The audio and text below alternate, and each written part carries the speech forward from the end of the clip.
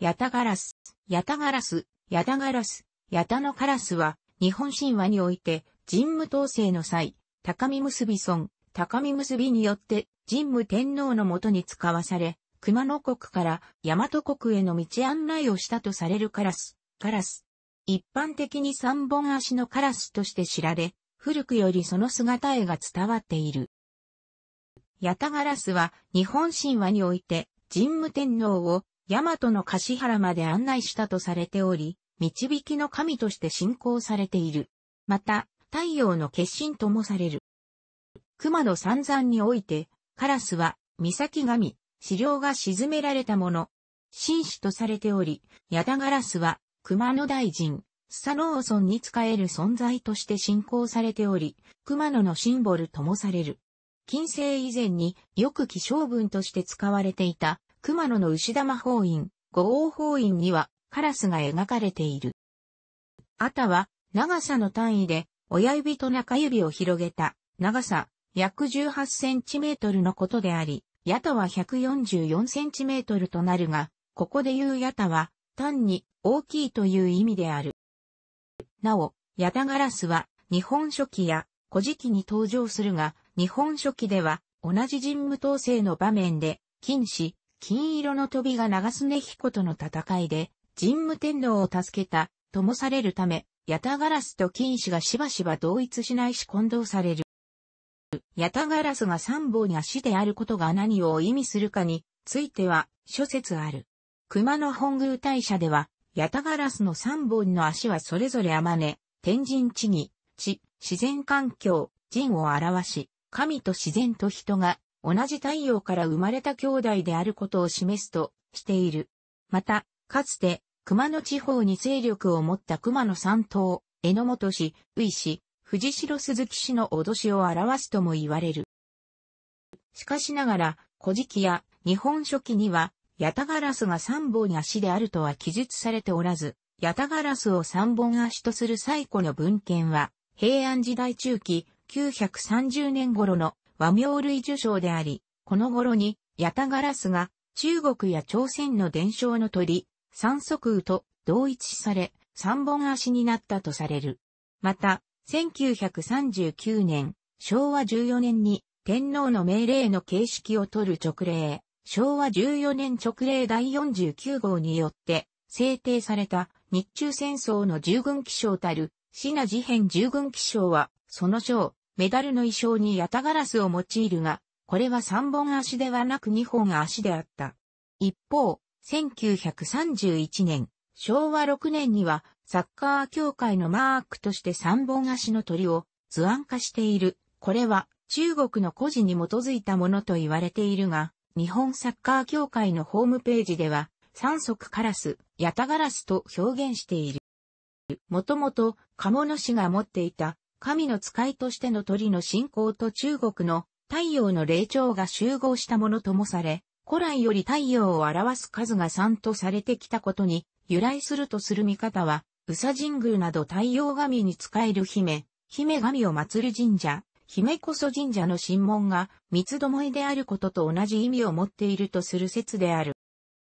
中国では古代より道教と関連して奇数は火を表すと考えられており、中国神話では太陽に住むと言われる。陰陽古行説に基づき、には影で、三が陽であり、二本足より三本足の方が太陽を象徴するのに適しているとも、また、朝日、昼の光、夕日を表す足であるとも言われる。上述のように三足カラスの伝承は古代中国の文化圏地域で見られる。中国では前漢時代から三足カラスが書物に登場し、王の墓からの出土品にも描かれている。三脚の特色を持つ三脚、巴や、その派生の三つどもえは、非常に広範に見られる衣装である。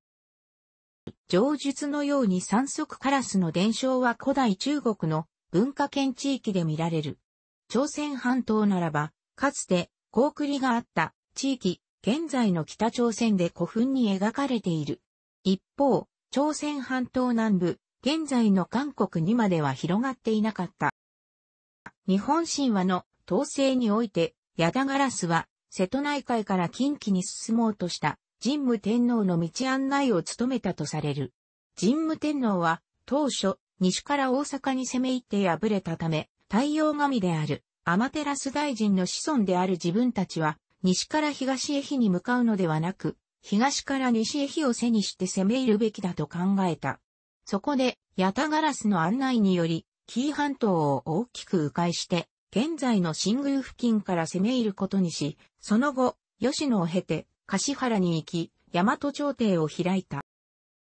神話において、ヤタガラスは、熊野の神の使いとしても活躍する。高齢天皇の御代、山でイノシシを追っていた、千代法、千代金という名の漁師がカラスに導かれて、大木を見出し、そこに見えた光に矢を向けると、私は、熊野の神であるという声が聞こえたためその神を祀る、社を立て、その宮の別当、熊野三山の管理職になったという。この時が、熊野の神が人々の前に初めて姿を現した瞬間だと伝えられる。ヤタガラスの記録は、古事記、日本書紀、演技式のほか、人ら塚古墳の壁画や珍し塚古墳、福岡県の横穴石室壁画、千葉県木更津市の高部30号噴出土橋、玉虫寿司、法隆寺の台座などに見られる。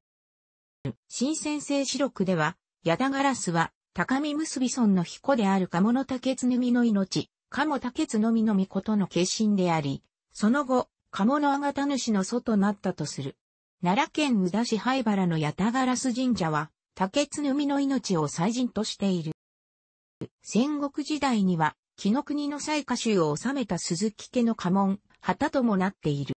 また、江戸時代の末には、高杉晋作が三千世界のカラスを殺し、首都朝根がしてみたいという内容のドドイツを作成している。これは、熊野の牛玉法院の札の裏に書いた約束時を破ると、熊野の唐が人は、または桟橋に約束を破った本人も罰を受けるとされていたことから、他の男たちとの約束をすべて破り、熊野のカラスをことごとく死なせてしまうとしても、あなたと朝寝をしていたいと、自らの生命をかけて、朝寝を選ぶ遊女の思いを表現したものである。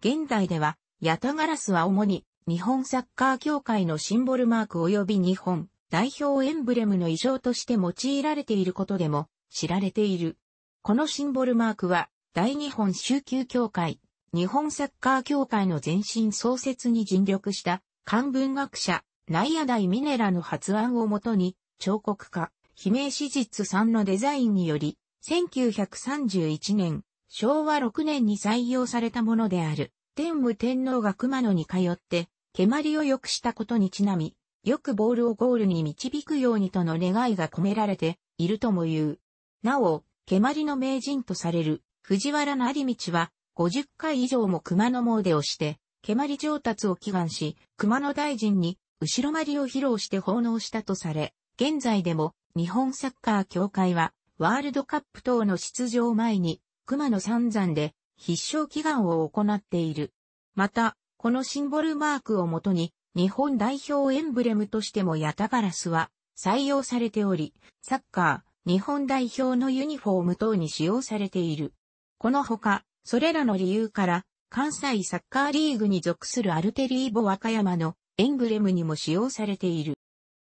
軍事方面においても、大日本帝国時代の戦前より、ヤダガラスは、金糸や和紙等と共に広く異常が用いられていた。一例として、陸海軍のシナ事変従軍機章、デザインは大日本宗教協会のシンボルマーク校舎と同じ日、名史実さんや帝国軍人講演会の会場、会員機章等がある。また、自由で勝者な図案を舞台マークとして機体に描く文化のあった帝国陸軍の航空部隊では、百式司令部偵察機、新塚笹田を装備する独立飛行第17中隊が一時期赤丸を背景に変翼を広げる黒のヤタガラスを垂直尾翼に描いていた。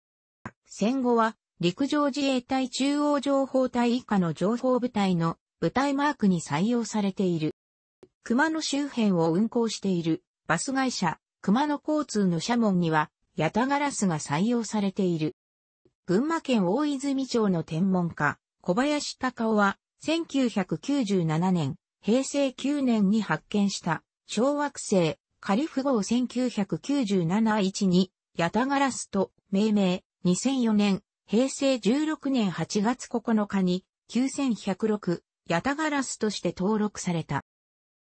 楽しくご覧になりましたら、購読と良いです。クリックしてください。